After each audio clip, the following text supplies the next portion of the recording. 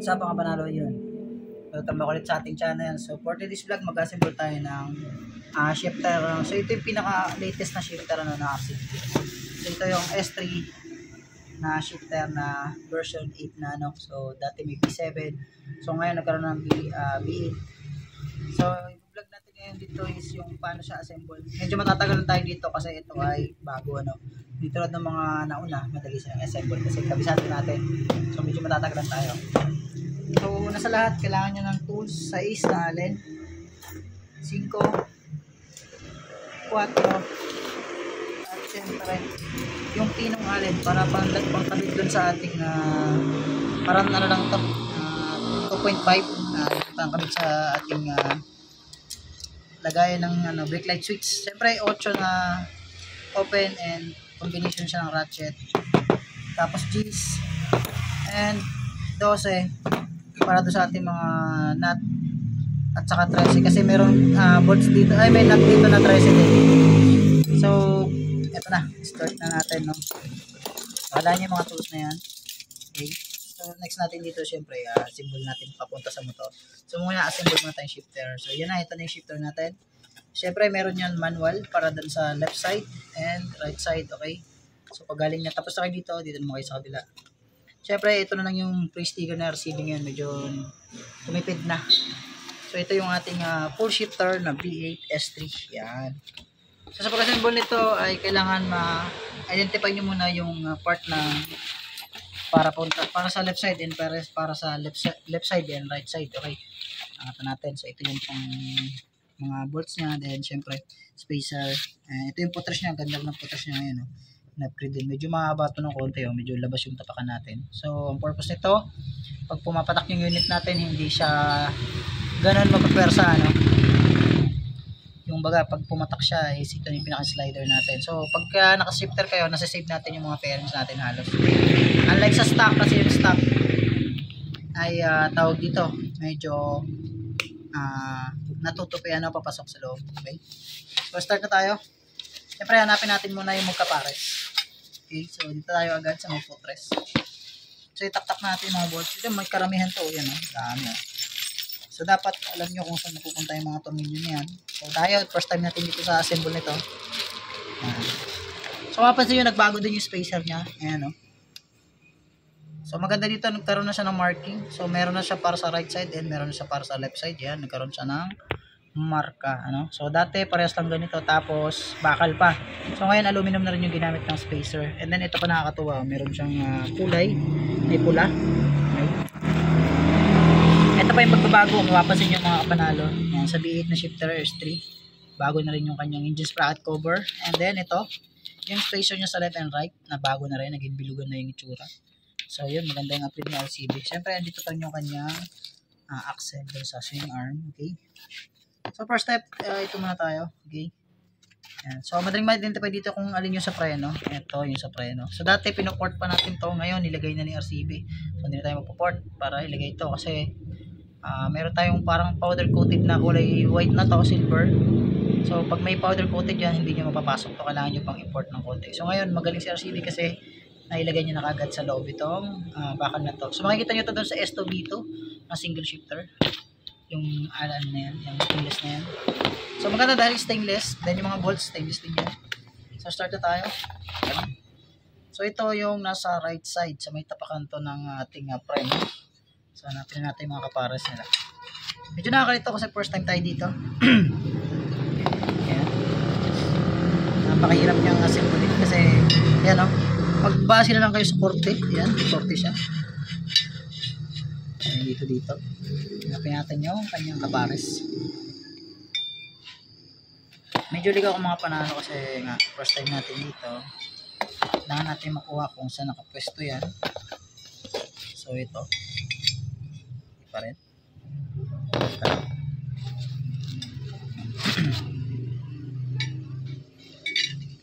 Ayan, nakuha natin yung isa.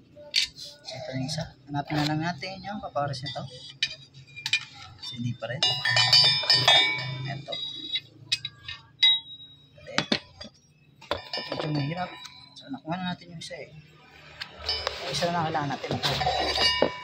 So, kaya na sabi ko, sundin nyo lang yung korte at uh, mape-perfect natin yan. Ito. So, medyo kapa tayo kasi bago. Ayan. Ah, ito na. Yun, sureball na to. Okay. Hulihin nyo lang kung alin yung kapares. Yan. So, pag nakuha nyo na, ibukod nyo na kagad. Yun yung technique. Yan. So, ito na siya. Ito naman tayo mga panalo.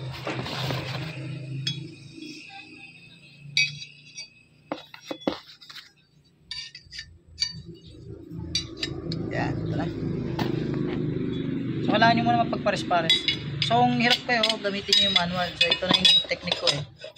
Yan. Siyempre, pag nakuha nyo na yung kapares, bolts nyo na kagad yan. So, hanap kayo ng bolts. So, parang na-improve din nila yung mga bolts. Medyo tagusan na sila ngayon, no? Ito na dati, may exit.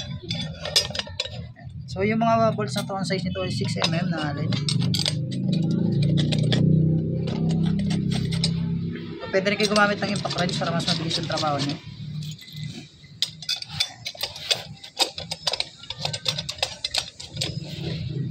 Ay, yan na. 6mm na alin. Huwag makalimutan. Yung size ng uh, tools niya.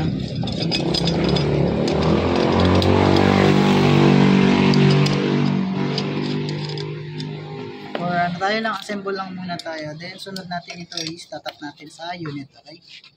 So, ito, estimated ko ito yung left side. Okay, so ito yung left side. Ang haba niya mga panalo. Ayan, parang mga pang bato ni Bushon. Ayan. Uh, ayan, kuha ulit kayo ng tornilyo. Buhay nyo natin.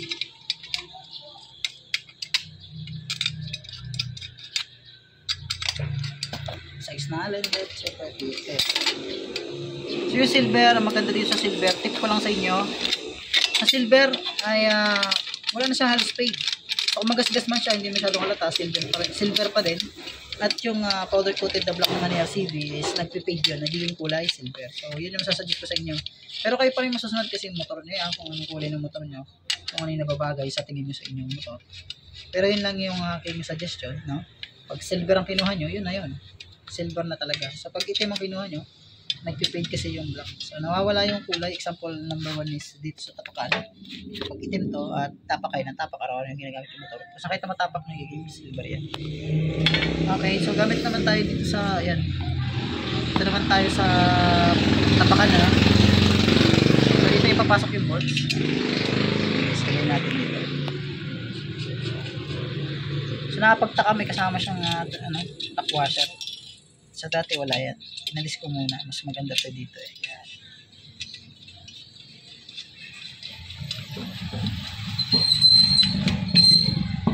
So hindi naman natin tatype to ng gusto kasi uh, assemble lang naman tayo. So pag yung sa motor na natin tatap. So kailangan talaga tight lang siya. Okay.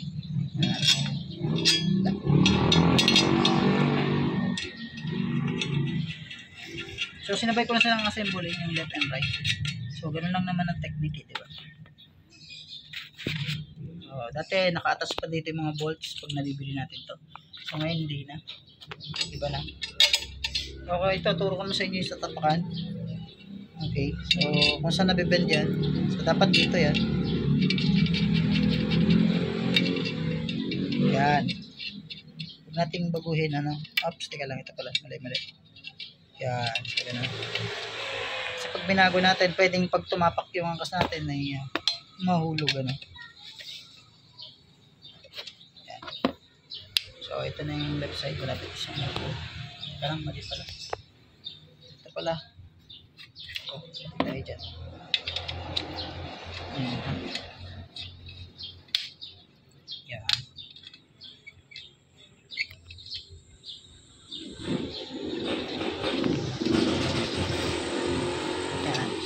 Tapak. So, ito yung right side. Ito yung uh, may preno. Kaya naman sa left side. So, pinagsabay ko na sila para sabay din halos matatapos. Pero pinakamahirap na part dito is lagi doon sa mayroong uh, preno. Okay, dito naman to. Medyo mahaba siya, no? Pero maganda to kasi pwede nyo itong alisin dulo. Pwede nyo agad i-short.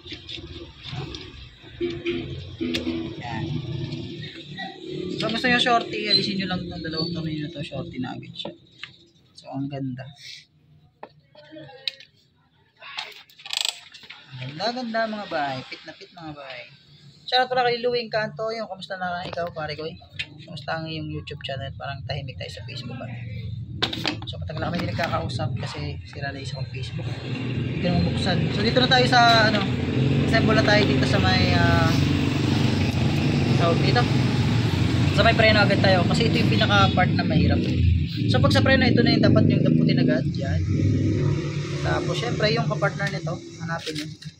So, may hulma yan. So, dapat sundin nyo yun. So, ito yon Ayan. Okay. Ayan o. Then, pasok na natin agad to dito. Ayan o. Ayan. Siyempre, ano, uh, di na tayo gumamit ng manual, ano? So, bahala na si Batman. Ito yung spring niya. Pasok niya lang dito yung spring. Ayan. Then, syempre, yung kabitan ng ating tinatawag na brake master pump. Ito na yun. So, ganito na itsura niya. Nag-upgrade na rin mga panalo.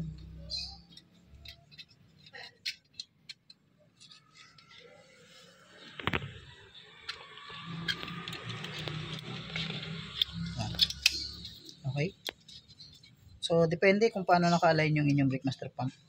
So, ganyan paglalagay niyan. Tapos, may bolts pa yun dito. So, ang bolts na to is, ang alin na to is uh, 5 ang pangkalas. Yan. Yan lang dito. So, gamit kayo ng 5 alin. Yung kalimutan.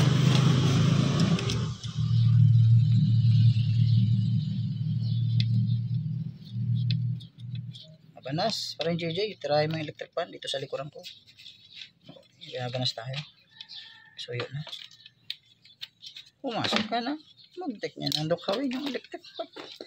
Ayan o, na ito na yung ating tapakan. Nabalik ng maganda. Okay. So, syempre, huwag natin kalimutan din ikabit itong uh, ito, ito, ito. Ayan. Yung ating tapakan mismo. Kung saan tayo tatapak sa pedal, yung pinakang tungtungan. Ano? Alright, ito na yun. So, yung bolts dito sa loob lagi. Yan, dalawa yung butas niya, lagi nyo lagi sa dulo para mas mapwersa. Pag dito, medyo mahina yung preno dyan, okay? Tips lang. At huwag nyo kalimutang higpitan ng maayos dito ng 5mm na allen. So, mapapansin nyo dito guys is meron itong uh, sobra. So, kailangan yung ilagay dito yung ating itong part na to. Kasi ito yung uh, sabitan ng tinatawag natin ng brake light switch. Okay? Siya yung hihila doon. So, ang size naman niya is 10mm na open. Kung sakali higpitan nyo, siyempre dapat higpitan nyo talaga yan para hindi mahulog. Okay? So, under, na-underestimate tayo ons eh. Ano? So, dati doon sa stock is by script by script lang. So, 11mm yung kanyang uh, open na panghigpit. So, ito yung nihila sa brake light switch. Tapos, kung mapapansin nyo dito may dalawang butas. Ayan. Kailangan nyo uh, ilagay ito. Okay. So, ito na natin gagamitin yung uh, alin natin na manipis. Kanina. Ito. So, ito yung tornilyo niyan. Yan. Saan tayo isa? So, matagal lang kayo magkalkal dito kasi marami itong tornilyo. Ayan. Ayan na. So, ito na nga yung alin. Gagamitin na natin yung size ng alin na yan. So, attach nyo lang yun dito.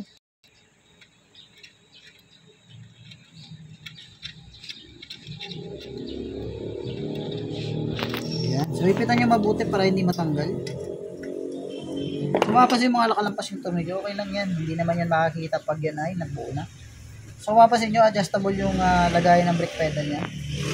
Kasi may ganito. So, dito mapapakabit yung brake pedal. Ay, ito yung panakang brake master pump pala, sorry. Okay. Ayan na. So, yung kanan natin is ready for install na sa ating motor. So, ito na yung finished product sa kanan. Mapapansin niyo. So, itong aking brake master pump dito is stop ko lang to kasi hindi pa natin alam kung paano yung mounting ng ating brake master pump dyan. Okay. Yan. So, ito na yung right side. Tapos siya. So, ready na itong ilagay sa motor. So, paano nga ba ilagay sa motor? Siyempre, kasama itong spacer na to. Yan. Tapos, lalagay nyo yung tornilyo. Tatanggalin nyo yung stock buttress nyo. At i-attach nyo na to sa ating motor. Yan. Okay. Ituturo din natin yun. So, assemble lang to ng ating uh, pakan. So, dito tayo sa kaliwa naman. Yan. So, sa kaliwa naman is, dito na tayo. Siyempre, dagputin nyo na kagit. Hindi wala tayo tapos na sa, kali, uh, sa kanan. May ilalagay pa tayo mamaya. Ilagay natin muna para hindi naman kulang yung video natin. Na ito na yung washer na yun, huwag nang kalimutan, mas maiksi siya. So, ibig sabihin, pag may hole may tornilyo yan, para yan dito sa pulang ito. Ayan, no? Ayan, nakashape siya doon, no? Hanapin nyo isa yung mahaba, para doon naman sa kabila, yan. So, dito yan mga panalo. Yan. Huwag nyo kalimutan. So, ang size ng alin nito is 5mm. Ipitan nyo mabuti at baka matanggal. Makawalan kayo ng brake pedal, okay? So, ayan na. Diyan na yan. O, diba? Maganda. And dito na tayo guys sa dito tayo sa kaliwa. Okay? Dito yung kaliwa. Eto na. So, huwag niyo kalimutan hanapin agad to kasi doon na ito mapapakabit agad-agad. Ayan. So, ito pa. Sali pa to. Ayan. Siyempre, dahil mahaba yon ito na, mahaba din.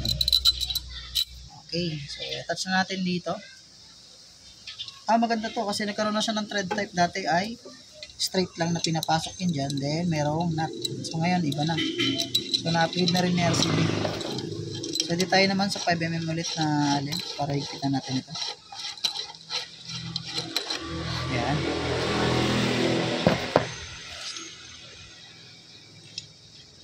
So, dito, lagyan natin siya ng ayan, nut. Huwag natin kalimutan. Ayan. So, check natin yung nut kung binago din ni RCB. So, gamit muna tayo ng 12. Nakita nyo, hindi pwede. 13 talaga. Mga stainless kadalasan na 13 na undersize na ano. Yan. Okay. So, dito naman tayo sa pinakang parang lapis niya. Ito yun. So, ito, dalawang klase yung thread nito. Isang salubong at isang patras. So, pag hindi pumasok, ilipat nyo lang sa kabila. Yan. Okay, so para dito to. Ito mga to, ang purpose ito, pwede mong ilayo at ilapit. Ito naman yung pinakapanlock niya, yung nut na yan. So, pag nakuha mo na yung tamang mounting doon sa may paa mo, position ng paa mo, saka mo ilalak itong 10mm na nut na to. Yun ang trabaho niya. Yan. So, ilagay na rin natin to. So, adjustable to, kaya lang nasabi. Depende sa gusto nyong position ng uh, paa sa inyong uh, motor. Yan. So, sabi ko nga, pag uh, nakuha nyo na yung tamang pwesto ng haba nito, sa inyong position ng paa, pwede nang ilak itong uh, dalawang nut na 10mm na yan. So, gamit na tayo na yun ng bolts na naman. So, ito yung bolts. Sa mga washer yan dito, lagyan natin ng washer, huwag natin kalimutan. Yan. So, dahil bitin, kuha tayo na mas mahaba. Ito, ito. So, washer tayo muna. Yun yung purpose kung bakit may washer. Ayan. So, meron naman kayo makuha dito 10mm na, nut na naman. Ayan. So, may lock yan sa dulo yung may plastic. So, gagawin nyo, kuha kayo ng 5mm na alin. Then, kuha kayo ng 10mm na ang higpit. Okay? Ito yun. Ayan. Hipitan nyo na, nahipitan, nahipitan. Okay.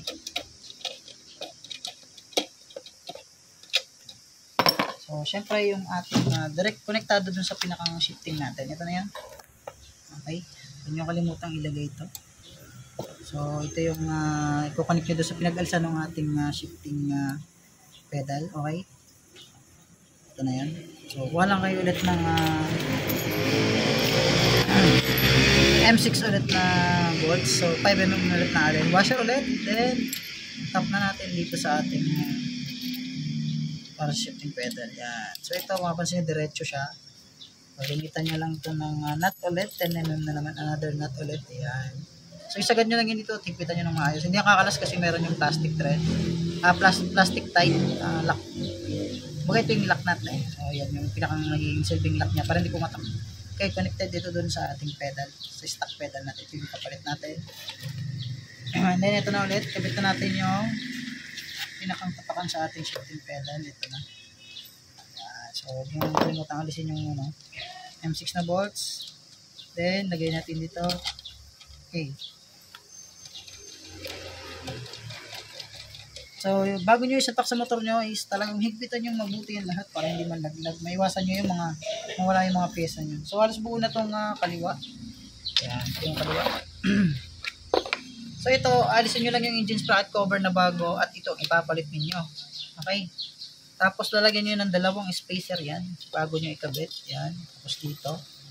Then kukuha kayo ng dalawang dalawang uh, nito. Then i-attach nyo na yung kanyang bolts ulit. Yung spacer huwag nyo kalimutan. Ayan, di ba? At isasalpak na natin yan dun sa ating unit. Ganun lang yan. So pagkasalpak nyo ng ganyan, diretso na yan dun sa ating motor. Okay? Huwag nyo kalimutan yung spacer. Salpak na yan dun. Okay, ganun lang yan dito. Tapos, ito, check natin dito kung ano mangyayari dito. So, may mga spacer mahaba. Siguro dito natin ito magagamit sa ano yan. Ayan, ito na yun. So, magagamit natin ito dun sa dito sa ating uh, brake master pump spacer. Ito yun. Trabaho na. Halos tapos na yung ating assembly ng assemble yung ating uh, shifter. Yan. So, sa mga nyo lang. Ito dito.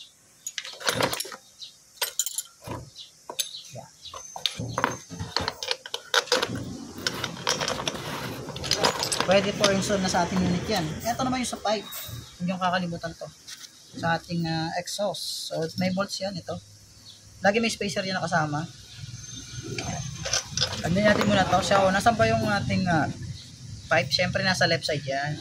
Hanapin natin ngayon yung pwesto ng left side na yan. Right side yun. So, nawawala. Hindi natin alam kung saan nakatouch. Right side yun. Dito na. Right side. Right side ba? Okay, right side ba? Sorry. Right side. Ayun, na ito, na ito. Sa right side, ito. So, gawin nyo. Unahin nyo yung, uh, ayan, sa gilid sa labas lagi yan. Okay. Unahin natin yung spacer. Then, ito na. So, pag hindi accurate yung spacer, bitin sa threads, pata natin. Ito.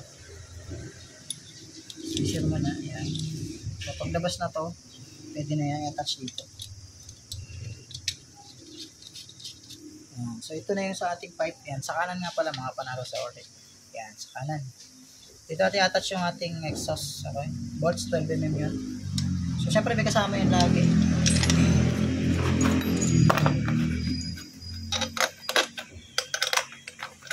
Kung mapapansin dito maraming sobra, gagamitin natin lahat yan. Siyempre left and right, meron tayong 18mm na uh, nut. Okay, para sa ating axle sa swing arm. Then, konektado yan. Dito yan, no?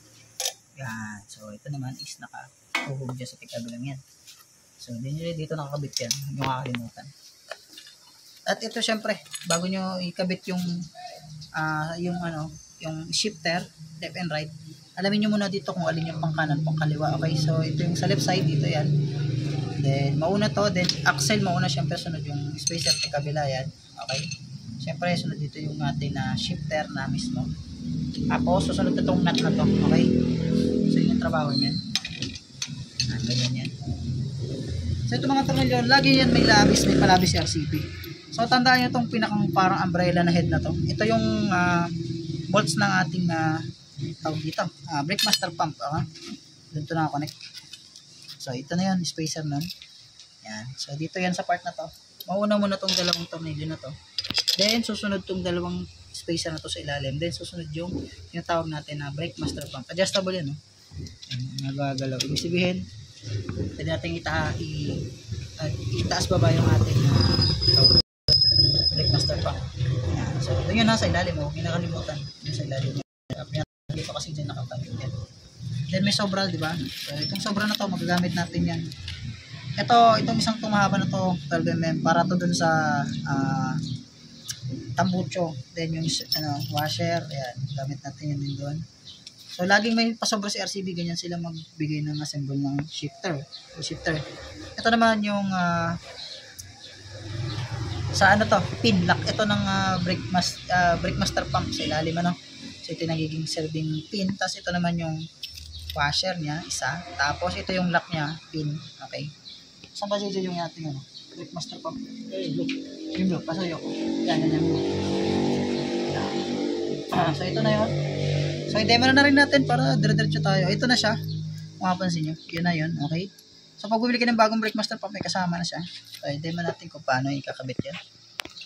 Brake master pump. Para hindi na kayo malito at nakuha nyo lahat yung buong tutorial. So, laging sa shifter, laging nasa kanan yung may brake master pump. Okay? So, dito yan. Huwag nyo kalimutan yung ating, syempre, washer.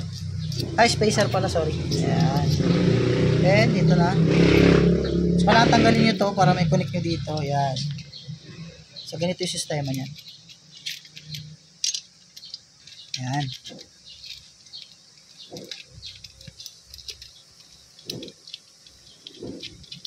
Yan, ganyan, ganyan po yan. Sagad nyo lang. Ayan. Ayan, ganyan ang sistema. Siyempre, kakabit natin yung ating brake hose. And then, yung, pre- siyempre, yung hose dito sa brake. Uh, brake fluid tank receiver. Dito yon So, may isa akong tip sa inyo para hindi na kayo mag-connect-connect ng brake light switch dito. Alisin nyo na yon Bumili lang kayo ng tinatawag natin na brake light switch. Dito pasulin ng dilaw na yun. Yan, dilaw. Yan, yan, yan. Sa may hose. Yan, yan, dilaw na yan. Ito, ito, ito, kabila. Yan, yan, sa taas, taas. Yan. So ito yung tinatawag natin na brake light switch, napakamura lang ito. Ang brand na ginagamit ko is RBB, ano, ayan. So maganda dito guys is hindi nyo na kailangan mag uh, maglagay ng brake light switch dito. At saka ito lalagyan nyo ng may kawad yun na kasama eh. Uh, pag gumamit kayo nito, bali ito na yung magiging uh, banjo bolt natin. Then itong wire na to konektado to dun sa brake light switch wire, okay? So ito itatap lang natin dun. Positive, negative lang yan. So, hindi kayo mahirapan. Pag tatapak nyo ng preno, automatic gagana agad yung uh, ating tail light. Okay? So, tandaan yung position ng brake master pump. Yan. So, yun lang guys. Sana nakatulong ito sa ating uh, mga mag-assemble sa bahay ng uh, full shifter na bagong labas ng RCB. So, susunod naman natin vlog is kung paano i-attach dun sa ating unit. Ano? So, ganun lang. So, sana may nakuha kayo. Maraming maraming salamat sa lahat ng subscriber natin. Uh, huwag nyo kalimutan mag uh, like and share. Subscribe na rin po sa mga bago nanonood sa ating YouTube channel. Pa-share na lang, pa-share na rin po para yun, dumami yung ating uh, mga manonood ano, sa ating YouTube channel. Yun, uh, maraming maraming salamat sa inyong lahat. So yun, sana nakuha ninyo kung itong simpleng tutorial natin pag-assemble ng uh, shifter na to. Kasi malaking bagay ito, lalo na kung uh, gusto nating tayo lang mismo ang magawa ng unit sa bahay, pwede natin uh, gawin, ano? So, itong pagkaka-assembly na namin na to, pwedeng pwede na itong i-attach sa motor, ano? So, pag nabuo nyo ng ganito, isasalpak natin sa ating motor. So, uh, hindi naman na yun na madali na lang yun, ano? So, gagawin nga natin ng part 2 itong vlog na to, na isasalpak natin mismo doon sa ating mismong sniper. So, ano nga pala, uh, pwede po ito sniper B1, 150cc, sniper version 2, 150cc, at pwede rin po ito dun sa sniper 155 version 3, uh, non-ABS. At then, sa lalabas na ABS type, pwede rin ito. So, plug and play.